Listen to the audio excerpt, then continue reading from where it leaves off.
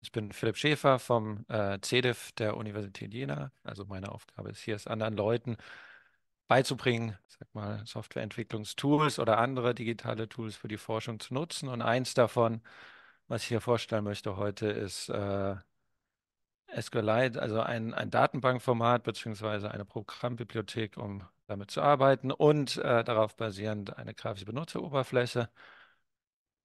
Das Ganze also ist äh, eine Bibliothek, um mit einem Datenbankformat zu arbeiten. Das heißt, es geht um tabellarische Daten, die fallen in den meisten äh, Forschungsgebieten an. Zum Beispiel haben wir Messreihen von physikalischen Experimenten. Wir haben, können Antwortlisten in, in einer sozialwissenschaftlichen Umfrage haben. Wir können äh, Kennzahlen äh, aus der Wirtschaft haben, die wir irgendwie verarbeiten wollen und was wir dann im Allgemeinen in der Forschung mit diesen tabellarischen Daten machen, ist ähm, sie in irgendeiner Weise auswerten, um dann zu wissenschaftlicher Erkenntnis zu kommen. Ein Werkzeug, um mit diesen tabellarischen Daten zu arbeiten, kann SQLite sein. Äh, konkret, äh, das, was wir nachher sehen werden, heißt äh, Database Browser for SQLite. Ähm, SQLite selbst ist ein Datenbankformat und eine Programmbibliothek, wie ich gesagt habe. Das ist äh, ein Stück Software, das wahrscheinlich eins der am weit verbreitetsten ist. In allen, wahrscheinlich jede App, die Sie auf dem Handy haben, hat intern eine kleine Datenbank, die oft auf äh, dieser Programmbibliothek basiert. Und äh, auch jeder Browser benutzt sie im Hintergrund, um alle möglichen Dinge abzulegen. Aber man kann sie eben auch für die, ich sag mal, händische Datenauswertung äh, benutzen. Und genau das wollen wir uns angucken in Form von einer grafischen Benutzeroberfläche dafür. Also hier ist ein kurzes Bild. Nachher werde ich äh, eine Demo geben, wie wir das Ganze oder wie man das Ganze benutzen kann, dass man das dann noch genauer sieht. Bevor ich das aber machen möchte, ein kleiner Vergleich zur Tabellenkalkulation, was vielleicht auch weiter verbreitet bekannt ist als Werkzeug, um mit tabellarischen Daten zu arbeiten, neben jetzt der Verwendung von Programmierung von, von Skripten, um jetzt sozusagen noch einen Schritt weiter zu gehen.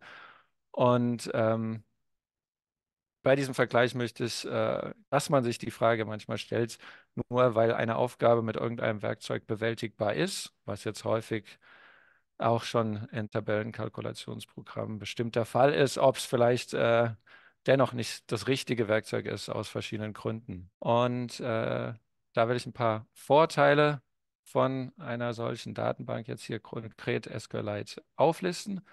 Wir haben einmal eine klare Trennung, äh, anders als das in Tabellenkalkulationsprogrammen ist, von den Daten und der Auswertung, also sozusagen den, den Befehlen zur Auswertung. In dem einen Fall bei der Tabellenkalkulation haben wir äh, das gemischt in den Zellen äh, zu großen Teilen äh, einer großen Tabelle. Und äh, wie wir jetzt später sehen werden, haben wir hier äh, eine Datenbank mit Daten und können dann Auswerte, Skripte, kurze schreiben, um unsere Auswertung zu machen und die auch separat speichern. Das hat einmal den Vorteil, dass wir ein geringeres Risiko haben, aus Versehen unsere Rohdaten zu verändern und das vielleicht gar nicht zu merken. Und dann können wir die Auswertung, die wir entwickelt haben, für gleichartige Daten auch leichter wiederverwenden. Wir haben eine schnellere Auswertung, auch bei großen Datenmengen. Also mehrere hunderttausend bis mehrere Millionen Datensätze sind in diesen Datenbanken auch auf einem ganz normalen Rechner äh, kein Problem, wo man jetzt mit den grafischen Werkzeugen wie Tabellenkalkulation vielleicht auch schon an die Grenzen äh, stößt. Und man hat eine gewisse Qualitätssicherung drin, dadurch, dass man, was die Spalten angeht, auf jeden Fall feste Datentypen hat hat man in einer gewissen Form in Tabellenkalkulationen auch dadurch, dass man äh, Formate für Zellen anlegt, aber also zumindest meine Erfahrung, vielleicht gilt das auch äh, für andere, dass man da öfter mal was vergisst, weil man es nicht direkt sieht und äh, dann wird aus einer minus 17 plötzlich der 3. Januar 200, äh, 1907 und man, man kriegt das äh, entweder nicht mit oder muss äh, nacharbeiten. Und zum Schluss äh, kann man die Auswertung, da die separat abgelegt wird und im Textformat, äh, diese sozusagen, äh, deren Entwicklung über die Zeit dokumentieren, um vielleicht dann später, wenn man feststellt, man hat irgendeinen Fehler gemacht, zurückzugehen und äh, zu gucken, was habe ich denn eigentlich geändert und ähm, wie kann ich das ähm, ja korrigieren. Was ich jetzt bevor wir zum Beispiel kommen, auch noch sagen möchte, ist, dass das Ganze hier sozusagen, ich möchte damit nicht sagen, das ist das äh, einzig wahre Werkzeug, um mit tabellarischen Daten zu arbeiten, sondern ich möchte es hier als ein Werkzeug vorstellen, was, wenn es bekannt ist, gegebenenfalls in einigen Fällen einsetzbar ist. Und äh, dafür muss man, ja genau, äh, jeweils im Einzelfall abwägen. Das heißt auch insbesondere gucken, was kann ich selbst, mit wem arbeite ich zusammen, wie können, können die äh, mit äh, der Art und Weise, wie ich mit den Daten arbeite, dann auch umgehen. Also wenn man in einer Gruppe, in einer Forschungsgruppe unterwegs ist, in der es eine gewisse Art und Weise gibt, die ist etabliert und die ist auch nicht äh, unnötig kompliziert, dann macht es keinen Sinn, auf irgendwas anderes umzustellen. Äh, aber äh, wenn man eben weiß, was da ist, kann man äh, im richtigen Fall dann vielleicht auch ein anderes Werkzeug mal benutzen. Ich werde jetzt ein äh, Beispiel geben, also das heißt einmal Daten in so eine Datenbank laden aus, einem, aus mehreren CSV-Dateien und äh, dann mit der Zeit eine Abfrage zusammenbauen, die uns was über diese Daten erzählt, die uns eine Auswertung sozusagen liefert. Ich möchte hier einen Überblick der Möglichkeit geben, und äh, dann auf weiterführende Lernressourcen verweisen. Also das Ganze soll jetzt hier keine Lernveranstaltung sein, dafür ist die Zeit auch zu kurz. Es soll vielmehr einmal zeigen, was möglich ist und äh, damit man das im Hinterkopf haben kann und bei Bedarf äh, sich dann weiter informiert. Der Datensatz, den ich benutzen werde, basiert auf echten Forschungsdaten, ist ein Lehrdatensatz, der quasi äh, dort, ich sag mal, kondensiert wurde, zusammen gestaucht und äh, aufgebessert wurde, damit man den gut für die Lehre benutzen kann. Und ähm, der Ablauf des Beispiels lehnt sich so ein bisschen äh, an eine ja, an Lehrmaterial von den Couple Trees an, das ich äh, hier verlinkt habe. Es ist jetzt mittlerweile relativ weit weg davon, außer was die Inhalte angeht, außer aus dem einfachen Grund, weil die Zeit recht knapp ist und das musste ich ein bisschen zusammenstauchen. Aber dort kommt so ein bisschen die Idee her. Und was ich vielleicht an der Stelle auch schon mal anmerken kann, ist, ähm, dass alle Links, also wir hatten ja jetzt schon zwei gesehen, die ich jetzt gezeigt habe und später kommen noch ein paar mehr dazu, in einem Pad gesammelt sind, was im Chat verlinkt werden sollte oder vielleicht auch schon verlinkt worden ist. Also da sind dann die ganzen Links zu finden auf einmal, sodass man sich das dann vielleicht auch länger noch erstmal abspeichern kann, bevor man da reinguckt. Damit möchte ich jetzt ähm, auf das Beispiel wechseln. Jetzt sollten Sie SQLite Browser sehen. Das ist die Graf eine grafische Benutzeroberfläche, um mit diesem SQLite-Format äh, zu arbeiten. Was ich jetzt mache, ist, ich werde äh, eine neue Datenbank erstellen. Die nenne ich jetzt CL SQLite für Coffee Lecture. Und äh, das fragt mich jetzt, ob ich eine Tabelle erstellen möchte. Das möchte ich nicht. Wir haben, wie gesagt, einen Beispieldatensatz, der in Form von CSV-Dateien vorliegt. Die werde ich jetzt nach und nach importieren. Ich werde jetzt äh, hier in der neuen Datenbank äh, Tabellen importieren aus CSV-Dateien. Ich wähle eine Datei aus, die heißt plots.csv. Also hier wird mir angezeigt, welche äh, Struktur das vermutet in der CSV-Datei. Das kann man noch anpassen, weil die ja teilweise unterschiedliche Trennzeichen benutzen, aber das passt hier. Jetzt habe ich eine Datei importiert. Das sehen wir auch jetzt hier im Hauptbildschirm. Wir haben hier eine Datei, äh, Tabelle Plots. Das Beispiel, das sind Daten zu Messungen. Da wurden in verschiedenen Bereichen, irgendwo auf der Welt, wo genau weiß ich nicht, Tiere regelmäßig äh, gefangen, vermessen und wieder freigelassen. Konkret das Gewicht und ich glaube die Hinterfußlänge. Und ich werde jetzt noch zwei weitere Dateien importieren und dann ähm, uns noch was an. Jetzt eine zu den Spezies, äh, Species, die dort, äh, die diese Tiere haben, die Spezies. Und ähm, zum Schluss eine Datei mit den Messdaten, die heißt Surveys konkret. Jetzt sehen wir hier drei Tabellen. Eine werden wir uns nochmal genauer angucken. Da sehen wir hier die Spalten und das sehen auch Typen, die jetzt das Programm beim Laden von den Daten aus der Datei, ich sag mal, äh, vermutet hat. Oben Ganzzahlen, Integer für die meisten Spalten, unten Text. Ich werde jetzt nochmal äh, die Tabelle bearbeiten, dass die letzten zwei äh, als Kommazahlen interpretiert werden, weil das Gewicht äh, und diese Hindfoot Length jeweils äh, Kommazahlen sind. Das hat er nicht richtig erkannt. Das kann ich aber im Nachhinein noch anpassen.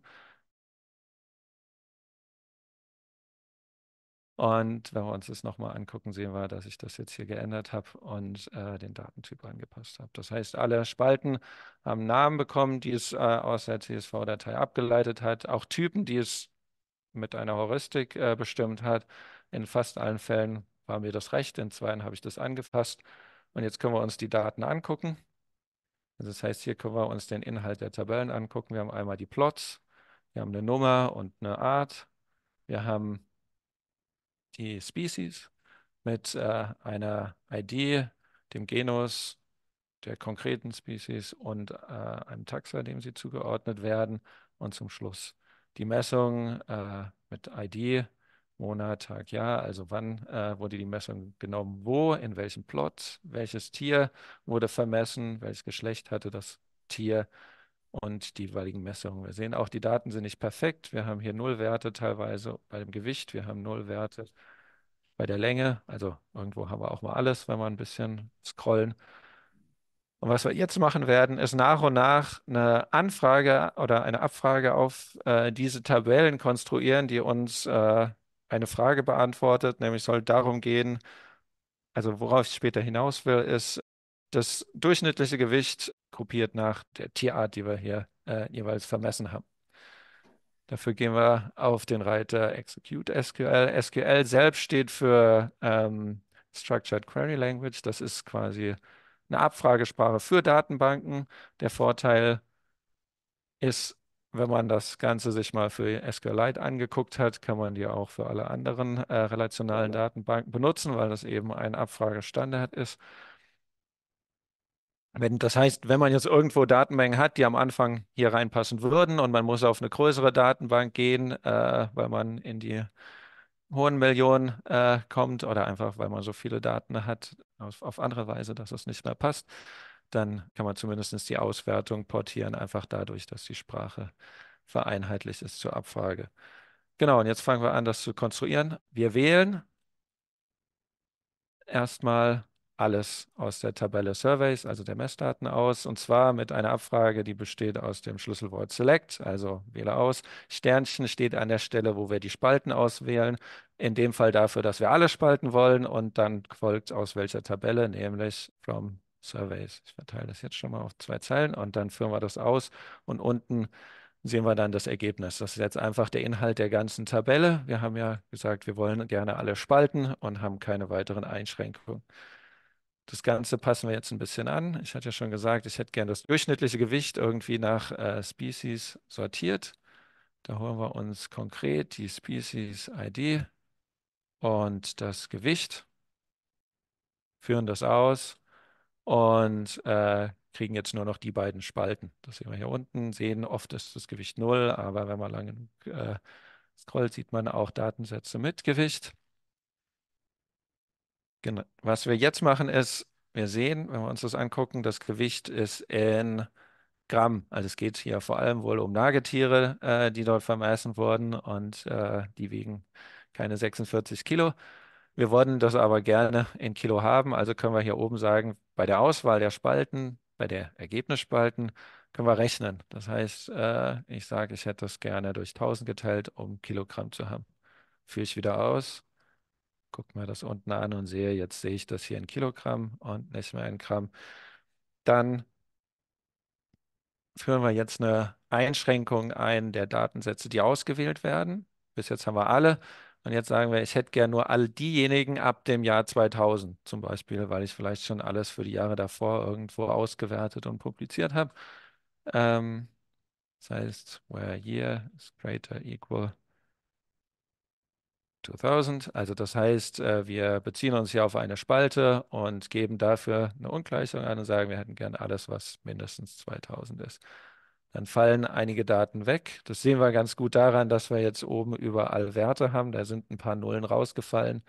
Es gibt aber immer noch welche. So, und ähm, auf dem Weg äh, zum Ende wollen wir nicht nur den Durchschnitt haben, sondern wollen auch sehen, wo ist er am höchsten. Das können wir dadurch erreichen, dass wir das Ergebnis sortieren. Das heißt, äh, wir benutzen ein weiteres Schlüsselwort, Order by, und sagen, wir würden das gerne nach dem Gewicht sortieren und äh, führen das aus. Jetzt hat er uns ganz oben die Nullen hinsortiert. Wir gucken weiter nach unten. Muss wohl sehr weit scrollen, weil es doch viele Nullen gibt und dann sehen wir irgendwann kommen die Nullen. Aber jetzt haben wir oben die mit dem niedrigsten äh, Gewicht. Wir wollen das gerne anders. Gibt es noch ein weiteres Schlüsselwort? Wir hätten es gerne absteigend, also descending.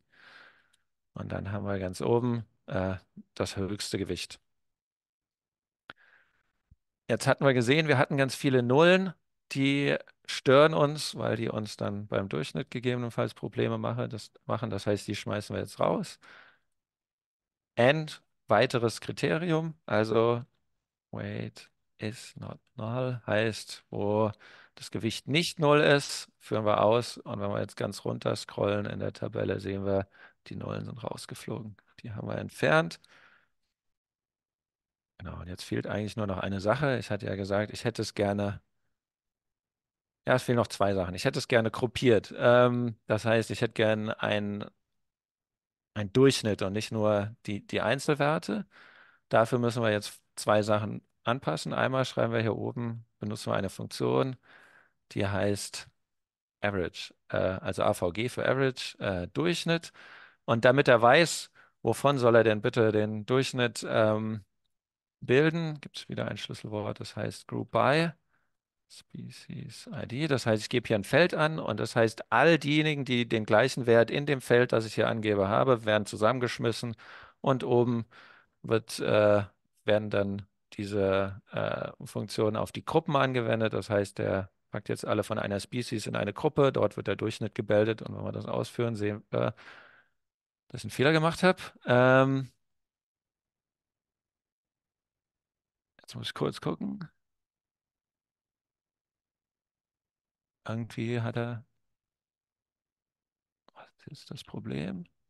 Ach so, ja, ähm, das Group By muss äh, vor dem Order By stehen, sonst beschwert er sich. Das war mein Fehler. Entschuldigung. So, jetzt, äh, jetzt ist er glücklich. Jetzt haben wir oben das höchste Durchschnittsgewicht und äh, absteigend äh, immer weniger. Das ist aber gerade schlecht zu lesen, weil der äh, viele Stellen anzeigt. Da benutzen wir eine weitere Funktion, round 2, passen den Wert nochmal weiter an, den wir da anzeigen. Und jetzt ist das Ganze ein bisschen angenehmer zu lesen und wir haben hier unsere Durchschnittswerte.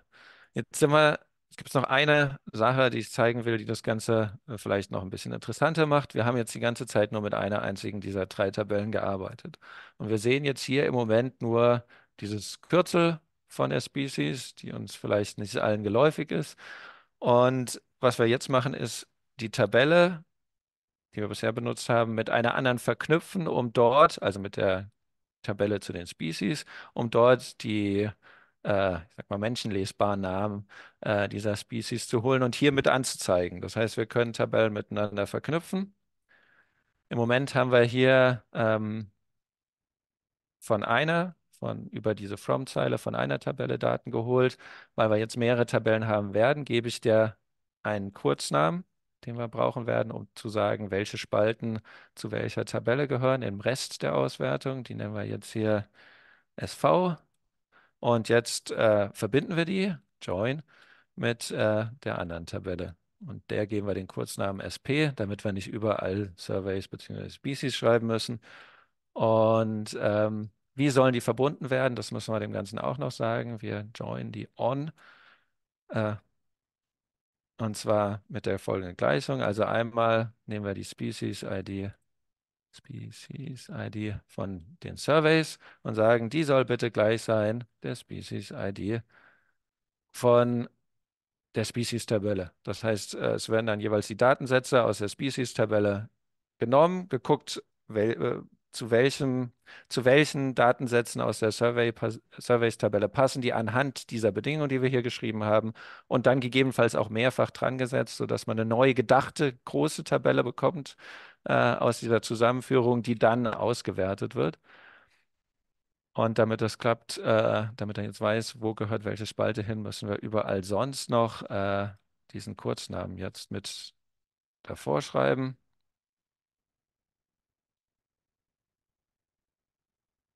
Und was wir auch noch machen ist, wir wollen hier oben ja eigentlich nicht die ID haben. Das heißt, das werde ich jetzt rausnehmen und werde stattdessen den Genus und äh, die Species selbst anzeigen, sodass wir was schön Menschenlesbares haben. Das führen wir jetzt aus. Und dann haben wir uns jetzt Daten aus der anderen Tabelle geholt und sehen jetzt hier die menschenlesbaren Namen, haben unsere Durchschnittswerte. Und das war jetzt äh, sehr zügig äh, ein kleines Beispiel, wie man dann eine Auswertung konstruieren kann auf diesen Daten. Ich habe ja gesagt, die sind jetzt getrennt von den Daten selbst. Wir haben einmal die Datenbank. Das heißt, wenn ich hier die äh, Datenbank kann ich äh, speichern. Das wurde ich äh, vorhin gefragt. Die liegt jetzt irgendwo auf ähm, der Festplatte als eine Datei. Und ich kann jetzt separat diese Auswertung, die ich hier habe, auch als SQL-Datei speichern. Also die nenne ich jetzt zum Beispiel Analysis von SQL. Und dann habe ich hier meine Datei, die ich später wiederverwenden kann, beziehungsweise auch auf eine andere Datenbank mit ähnlichem Datenbankschema verwenden könnte, wenn ich das dann wollte. Damit komme ich zurück zu den Folien. Das war quasi das Beispiel dazu. Hier, wie versprochen, äh, noch ein paar weiterführende Lernressourcen. Auch die sind verlinkt in dem Pad, von dem ich vorhin gesprochen habe. Also die ersten zwei sind äh, Lehrmaterial von den Carpentries, jeweils mit anderen Datensätzen. Man kann entweder schauen, wenn einen das interessiert, ob es in der Umgebung oder online äh, Carpentries Kurse gibt, die man dazu besucht. Oder äh, ich denke, das Material lernt, äh, eignet sich auch sehr gut zum Selbststudium, wenn man das ausprobieren möchte. Also da sind dort auch äh, Erklärungen, wie installiere ich die nötige Software.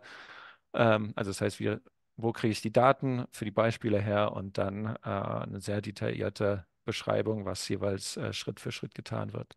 Und die letzten zwei Links sind jeweils kleine Spiele im Browser, die Leute entwickelt haben, äh, um SQL näher zu bringen. Das erste für Einsteiger definitiv, was einen so ein bisschen äh, auch an die Hand nimmt. Und das zweite ist dann eher für Fortgeschrittene, äh, Fortgeschrittene wo man in der Datenbank äh, über Datenbankabfragen versucht, einen Kriminalfall zu lösen.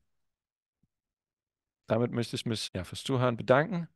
Vielleicht noch kurz erwähnen, äh, dass diejenigen, die in der Nähe äh, von der Uni Jena sind, können auch an unseren Kursen, insbesondere auch zu SQL, teilnehmen. Da haben wir im nächsten Semester wieder eins, aber in Präsenz, deswegen gegebenenfalls nicht für alle von Interesse. Das gleiche gilt für unsere ganzen anderen Kurse, die wir anbieten. Und zum Schluss nochmal der Hinweis auf das Pad mit den ganzen Links zu dem Vortrag, der wahrscheinlich auch schon im Chat zu sehen war.